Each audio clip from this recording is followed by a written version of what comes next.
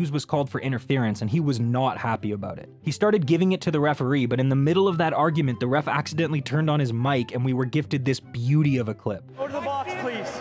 Go to the box, please. Now. No joke, that gave me flashbacks of my mom sending me to my room when I was a kid. Truly hilarious.